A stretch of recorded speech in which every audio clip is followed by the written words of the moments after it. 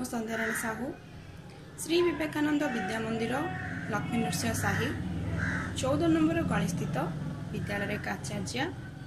ପିଲାମାନେ ଆମେ ଆଗରୁ ଦଶମ ଶ୍ରେଣୀ ଜୀବବିଜ୍ଞାନ ବହିର ନବମ ଅଧ୍ୟାୟ ଆମ ପରିବେଶ ପାଠ ଆଲୋଚନା କରୁଥିଲେ। ଆଗରୁ ଆମେ କ'ଣ କ'ଣ ଆଲୋଚନା କରିଛେ ମୁଁ ପୁଣି ଥରେ ତୁମମାନଙ୍କୁ ମନେ ପକାଇ ଦେଉଛି। ଆମେ ଆଗରୁ ଜାଣିଥିଲେ ପରିବେଶ କ'ଣ ପରିବେଶର ପୃଥିବୀର ଚାରି ଗୋଟି ମଣ୍ଡଳ ବିଷୟରେ ଆଲୋଚନା କରିଥିଲେ। ଚାରି ଗୋଟି ମଣ୍ଡଳ କ'ଣ? ଅଶ୍ମମଣ୍ଡଳ ଜଳମଣ୍ଡଳ ବାୟୁମଣ୍ଡଳ ଏବଂ ଜୀବମଣ୍ଡଳ। ଜୀବମଣ୍ଡଳରେ ମଧ୍ୟ ଆମେ ଉପାଦାନ ଗୁଡ଼ିକ ଆଲୋଚନା କରିଥିଲେ। ପରିସଂସ୍ଥା କ'ଣ ଜାଣିଥିଲେ? ପରିସଂସ୍ଥାର ଗାଠନିକ ଉପାଦାନ ମଧ୍ୟ କ'ଣ ଜାଣିଥିଲେ? ଚାରି ଗୋଟି ଗାଠନିକ ଉପାଦାନ ଥିଲା। ଅଜୈବିକ ଉପାଦାନ ଉତ୍ପାଦକ ଭକ୍ଷକ ଏବଂ ଅପଘଟକ। ଆହୁରି ମଧ୍ୟ ଆମେ ପରିସଂସ୍ଥାର କ୍ରିୟାତ୍ମକ ଦିଗର ଚାରି ଗୋଟି କାର୍ଯ୍ୟକାରୀ ପ୍ରଣାଳୀ ଥିଲା। ସେଥିମଧ୍ୟରୁ ଆମେ ଖାଦ୍ୟ ଶୃଙ୍ଖଳ ଆଲୋଚନା କରିସାରିଛେ ଖାଦ୍ୟ ଶୃଙ୍ଖଳରେ କ'ଣ ଥିଲା? ଖାଦ୍ୟ ଶୃଙ୍ଖଳ ଖାଦ୍ୟ ଜାଲି ଏବଂ ଖାଦ୍ୟ ଶୃଙ୍ଖଳର ମହତ୍ତ୍ୱ ତାପରେ କ'ଣ ଥିଲା? ଦ୍ୱିତୀୟ କାର୍ଯ୍ୟକାରୀ ପ୍ରଣାଳୀ ଶକ୍ତିର ପ୍ରଭାବ ଶକ୍ତିର ପ୍ରଭାବ ଆମେ ଆଲୋଚନା ଜାଣିଥିଲେ କ'ଣ? ତା ସହିତ ଇକୋଲୋଜିକାଲ ପିରାମିଡ୍ ମଧ୍ୟ ଆମେ ଜାଣିଲେ। ତୃତୀୟ କାର୍ଯ୍ୟକାରୀ ପ୍ରଣାଳୀ ପୋଷକ ଚକ୍ର ଜାଣିଲେ।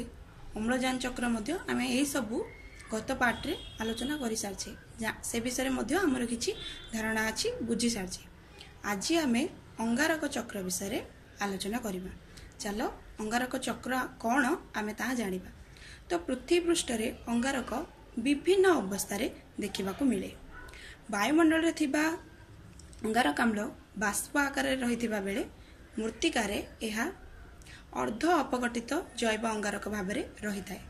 ଆହୁରି ମଧ୍ୟ ଏହା ଜୀବ ଉଦ୍ଭିଦମାନଙ୍କର ଶରୀର ଗଠନରେ ମୁଖ୍ୟ ଭୂମିକା ଗ୍ରହଣ କରିଥାଏ ଏବଂ ବିଭିନ୍ନ ଜୈବିକ ପଦାର୍ଥ ଏବଂ ଅଣୁମାନଙ୍କର ସହିତ ମିଶି ମଧ୍ୟ କିଛି ଅନୁପାତରେ ରହିଥାଏ।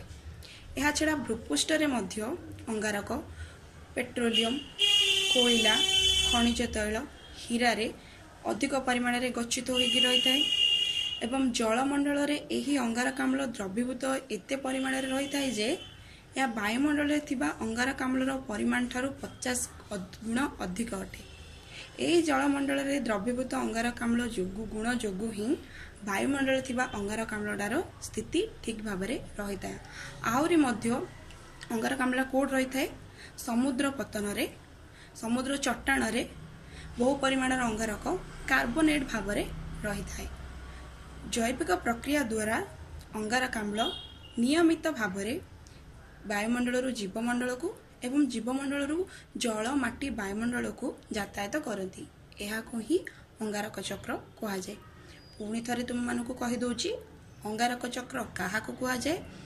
ନା ଜୈବିକ ପ୍ରକ୍ରିୟା ଦ୍ୱାରା ଅଙ୍ଗାରକ ନିୟମିତ ଭାବରେ ଅ, ବାୟୁମଣ୍ଡଳରୁ ଜୀବମଣ୍ଡଳକୁ ଏବଂ ଜୀବମଣ୍ଡଳରୁ ଜଳ ମାଟି ଏବଂ ବାୟୁମଣ୍ଡଳକୁ ଯାତାୟାତ କରିଥାନ୍ତି। ଏହାକୁ ହିଁ ଅଙ୍ଗାରକ ଚକ୍ର କୁହାଯାଏ।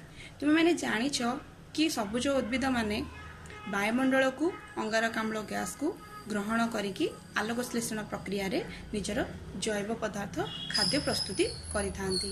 ସେହିପରି ଜଳରେ ଥିବା ଜଳୀୟ ଉଦ୍ଭିଦମାନେ ମଧ୍ୟ ଜଳରେ ଥିବା ଦ୍ରବୀଭୂତ ଅଙ୍ଗାରକାମ୍ଳକୁ ଗ୍ରହଣ କରିକି ନିଜର ଖାଦ୍ୟ ପ୍ରସ୍ତୁତି କରିଥାନ୍ତି। ସେହି ଖାଦ୍ୟ ପ୍ରସ୍ତୁତି ଜୈବିକ ପଦାର୍ଥରୁ କିଛି ପରିମାଣର ଅଙ୍ଗାରକ ଦହନ ହୋଇକି ବାୟୁମଣ୍ଡଳକୁ ଫେରି ଆସିଥାଏ। ଆଉ କିଛି ଅଙ୍ଗାରକ ଉଦ୍ଭିଦମାନଙ୍କର ଶରୀର ଗଠନରେ ସାହାଯ୍ୟ କରିଥାଏ ଏବଂ ପ୍ରତ୍ୟେକ ଜୀବମାନଙ୍କର ଶରୀରରେ ଖାଦ୍ୟ ସ୍ତର ଦେଇକି ଏ ଅଙ୍ଗାରକାମ୍ଳଟା ପ୍ରବାହିତ ହୋଇଥାଏ। ଏବଂ ପ୍ରାଣୀ ଓ ଉଦ୍ଭିଦମାନଙ୍କର ରେଚିତ ଏବଂ ମୃତ ଶରୀର ଗୁଡ଼ିକୁ ମାଟିରେ ମିଶିଲେ ଏହା ଅପଘଟକମାନେ ଅପଘଟନ କରାଇକି ଏହାକୁ ତାର ଅମ୍ଳଜାନ ଗୁଡ଼ିକୁ ଶୋଷଣ କରିକି ଅଙ୍ଗାରକାମ୍ଳକୁ ବାୟୁମଣ୍ଡଳକୁ ନିର୍ଗତ କରିଥାନ୍ତି। ଆହୁରି ମଧ୍ୟ ତୁମକୁ ମୁଁ କହିଥିଲି ଗତ ପାର୍ଟରେ ଆମେ ଶ୍ୱାସକ୍ରିୟା କରିଥାଉ ଶ୍ୱାସକ୍ରିୟାରେ ଅମ୍ଳଜାନ ନେଇଥାଉ ଏବଂ ଅଙ୍ଗାରକାମ୍ଳ ତ୍ୟାଗ କରିଥାଉ। ତ ସେଇ ଯେଉଁ ଅଙ୍ଗାରକାମ୍ଳ ତ୍ୟାଗ କଲେ ତାହା ମଧ୍ୟ ବାୟୁମଣ୍ଡଳକୁ ଯାଇଥାଏ। ତ ଏହିପରି ଭାବରେ ଗୋଟେ ଚକ୍ରାକାର ଗତିରେ ହୋଇଥାଏ। ତେଣୁ ଏହାକୁ ଅଙ୍ଗାରକାମ୍ଳ ଚକ୍ର ବା ଅଙ୍ଗାର ଅଙ୍ଗାରକ ଚକ୍ର ବୋଲି କୁହାଯାଏ। ତ ମୁଁ ତୁମକୁ ଚିତ୍ର ମାଧ୍ୟମରେ ଦେଖାଉଛି। ଭଲ ଭାବରେ ବୁଝିବାକୁ ଚେଷ୍ଟା କର। ଦେଖ ପିଲାମାନେ ପ୍ରଥମେ ଇଏ ହେଲା ଯଦି ବାୟୁମଣ୍ଡଳରେ ଏ ଅଙ୍ଗାରକାମ୍ଳ ଆଉ ଜଳୀୟ ମଣ୍ଡଳରେ ଜଳମଣ୍ଡଳରେ ଆଉ ବାୟୁମଣ୍ଡଳରେ ଏ ଅଙ୍ଗାରକାମ୍ଳ ଗୁଡ଼ିକ ରହିଲା। ବୁଝା ପଡ଼ିଲା? ଏ ଅଙ୍ଗାରକାମ୍ଳ ଯେତେବେଳେ ରହିଲା ଏ ଅଙ୍ଗାରକାମ୍ଳକୁ ବାୟୁମଣ୍ଡଳରୁ କିଏ ଗ୍ରହଣ କରିବ? ସବୁଜ ଉଦ୍ଭିଦ ଗ୍ରହଣ କରିବ କାହିଁକି ସବୁଜ ଉଦ୍ଭିଦ ଗ୍ରହଣ କରିବ? କାରଣ ସେ ଆଲୋକ ଶ୍ଲେଷଣ ପ୍ରକ୍ରିୟାରେ ନିଜର ଖାଦ୍ୟ ପ୍ରସ୍ତୁତି କରିଥାଏ। ବୁଝାପଡ଼ିଲା ଯେତେବେଳେ ସେ ଖାଦ୍ୟ ପ୍ରସ୍ତୁତି କଲା କିଛି ପରିମାଣର ଅଙ୍ଗାରକାମ୍ଳ କ'ଣ ହେଲା? ନା ଖାଦ୍ୟ ପ୍ରସ୍ତୁତି ଅଙ୍ଗାରକାମ୍ଳ ବାୟୁମଣ୍ଡଳକୁ ନିର୍ଗତ ହେଲା।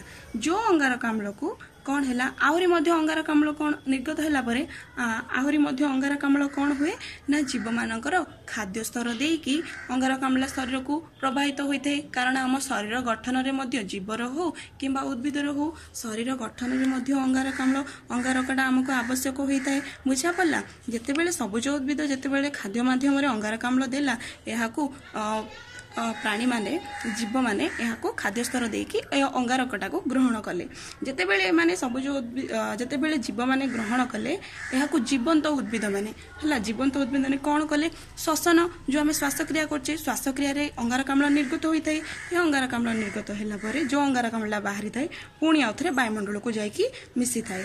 ଏବଂ ମୃତ ମୃତ ଶରୀର ମାନଙ୍କର ଆମ ମାଟିରେ ମିଶି ଯାଇଥାଏ ଯାହାଦ୍ୱାରା କି ଅପଘଟକ ମାନେ ଅପଘଟନ କରାଇକି ଅଙ୍ଗାରକାମ୍ଳକୁ ନିର୍ଗତ କରିକି ବାୟୁମଣ୍ଡଳକୁ ପୁଣି ଛାଡ଼ିଥାନ୍ତି।